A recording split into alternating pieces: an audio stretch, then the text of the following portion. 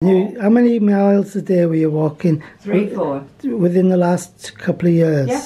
Three or four miles a every day. And now? I do go uptown with my trolley Yeah, uh, twice a week, yeah. which is painful. That's that's about a mile, isn't it? Yeah, which is painful. Which is painful. Or I pop down the co-op. But apart from that, Hmm. So nothing, you've not done anything. no, nothing. I just can't. Going out or whatever, I can understand this. uh, This race started just one. It's about five weeks ago. It was with my friend Christine. yeah. We used to go up to time together, right? And um, I said to the oh, I said, God, Chris, I said this race is deserted. Nothing of it, whatever, whatever.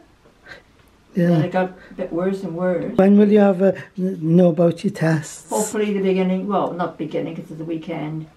Hopefully about Wednesday, Wednesday. right? And um, Hmm. yeah, we can have something to dull the pain. What did they do? Did they just take blood samples? No, they took X-rays of my wrist, X-ray of my hands, right? Of both of them? Yeah, and I've had I've had um, blood tests and they they were nothing. How about your legs? What do they feel like? Ish, they're they ache. Ache. Yeah, if I rub stuff on, Yeah. not too bad. So you just ache. Same as me because I'm not. There's not a lot of me, Steve. You've always been slim, I've though. always been thin, but whatever got right is Yeah. affecting me. I know what you're saying. That you're always super fit, and now I know something's happened. and it's affecting the whole body, right? Yeah. Which is Uh, not nice. I mm. don't like it. Dear, dear. Yeah, I don't like the pain. So Did they did they ask you have you taken anything or done something different? Not really, no. Um, So it's what only really? so- apart from all, all it is is the only difference is you've had you took the vaccine three. yeah, but I haven't really done anything. I'm, no. When did you have them?